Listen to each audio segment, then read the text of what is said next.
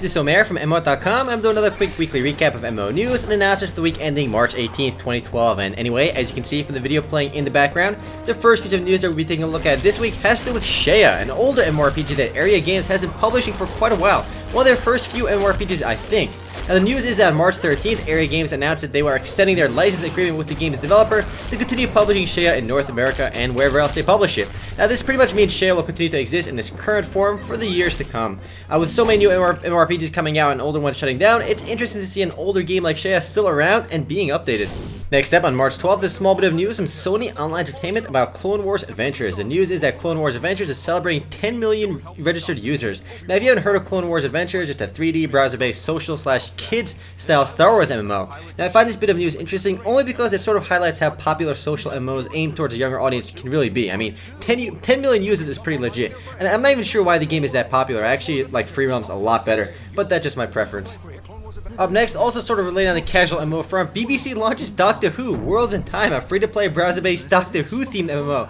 As the name suggests, the game is based on the popular Doctor Who franchise. Well, it's not that popular, but, but like traditional MMOs, Doctor Who Adventures is a casual game, meaning it'll play a lot more like Star Wars Adventures slash Fantage than an actual MMORPG, which basically means the game revolves around solving puzzles and walking around socializing. Now, it would have it would have been neat to see an actual Doctor Who MMORPG, like a sci-fi MMORPG, but it doesn't look like we'll be seeing that game anytime soon. But again, this kind of goes to show how popular these uh, these casual MMOs can be. Like, you wouldn't believe how popular games like Club Penguin and Phantasm really are. Uh, next up is a bit of news from Star Wars The Old Republic, and we don't usually cover news from pay-to-play games, but this time it's a tad different.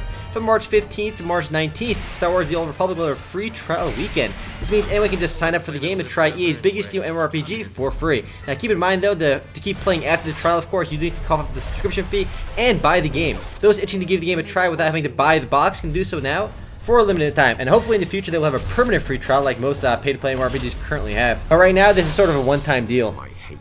Next up is a small bit of news from Blacklight Retribution. On March 13th, Perfect World Entertainment came out and said that Blacklight will officially launch into full release on April 3rd. Now it's already in open beta, so anyone can still play the game right now, but it'll get into quote, full release on April 3rd. Players can expect new weapons, game modes, and more to come out when the game actually launches. However, for any gamer out there, open beta already pretty much means full release, but whatever for whatever reason, it'll be launching into full release on April 3rd. On a side note, those who like FPS games should definitely give Blacklight a try if they haven't actually played it yet because it actually plays a tad bit different than other shooting games and you will see when you actually play the game. Next up, Webzen announced that Archlord X is going into closed beta from March 18th to 29th. The new Shrine Battle of Realm PvP content will also be available in this round of beta testing. Can also expects some major game balance changes from the first round of closed beta testing, but unfortunately there is still no set open beta date for Archlord X. For those that haven't heard of Archlord X, it's, uh, it's a game that'll be very similar to the original Archlord, except with a greater focus on realm versus realm PvP, rather than the guild versus guild battles found in the original Archlord. And the video you're seeing in the background is the official second closed beta test uh, video for the game. Looks pretty action-packed. And on a side note, actually, Archlord launched as a pay-to-play game originally, but uh, eventually did go free-to-play. Up next, on March 15th, Games Campus has announced that they acquired the rights to the European version of Drift City. European users will have a chance to move their accounts from the 7 Games service to the Games Campus service. Transfer requests will be open until August 31st. Games Campus now runs Drift City in both North America and Europe. If you are playing on the 7 Game service, do make sure to transfer, else your character will eventually be wiped. And moving right along, on March 15th, 2012, Spirit Tales from Koram Game officially enters closed beta testing. We talked a bit about Spirit Tales last week and how it's developed by the same company who made Eden Eternal and Grand Fantasia. Graphically spe speaking, the game does look quite awesome. It's being published by Koram Game though, which is a bit odd as Koram Game is better known for their browser-based titles. I figured Aeria would end up publishing Spirit Tales as they have all the other X Legends titles. Now there's still no official word on open beta, but since closed beta already began, it can't be too far away.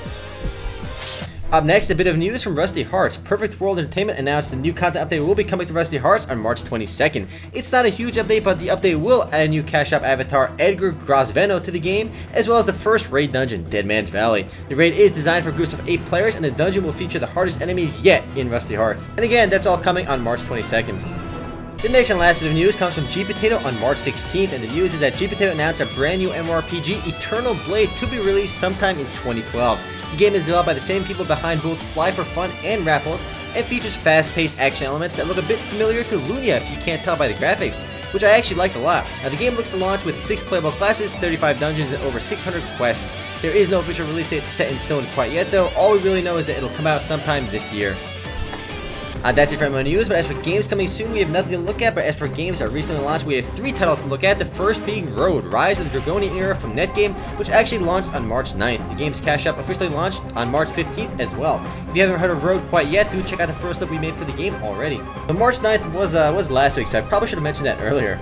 The next game to launch this week, guys, is Seven Souls Online from NeoWiz. Again, Seven Souls is the same exact game as Martial Empires, but this is the North American version of that game. Sort of odd that it took them so long for the North American version to launch, especially since the two games are the same. With the launch of the open beta, the level cap has been increased to level 40, and new in-game zone, Dragon Scale Valley, has also been added. Other features such as open world PvP and new dungeons are also now available. The next and last game to launch this week Legendary is EverQuest 1 from Sony Online Entertainment. Yes, that's the original EverQuest game, which just went free to play on March 16th. Oddly enough, EverQuest 2 went free to play long before EverQuest 1 did. Now there are a lot of restrictions in place for free users in EQ1, most no notably the limited number of bag slots and restrictions on playable races and classes. Free users only get access to 4 or so classes at the moment. I suspect that Sony will ease up on these restrictions soon enough, but time will tell. I'm personally really excited about EQ1 going free to play, mainly because it's the second MMORPG I've ever played, the first being Ultima Online. I remember getting up in the mornings and literally sprinting to the PC to fire it up and start playing EQ. I'd play it until my parents literally forced me off the PC to go to sleep, every day on the weekends when I could. That's the only manly way to play an MMORPG anyway, 14 hour power sessions. Do keep in mind though, the game's graphics aren't the prettiest, as the game is quite old. The original EQ released back in 1999. I'm gonna check the game out mostly because I'm pretty nostalgic about it, but I suspect it won't appeal to too many newer gamers. But anyway, guys, that's it for MMO News. Announcements of the week ending March 18th, 2012. Now, if you want to read about or learn more about any news mentioned in this video, simply head on over to MMO.com slash news. If you want to discuss any of this video, simply head on over to MMO.com slash forums. Anyway, guys, this is Omer, signing off.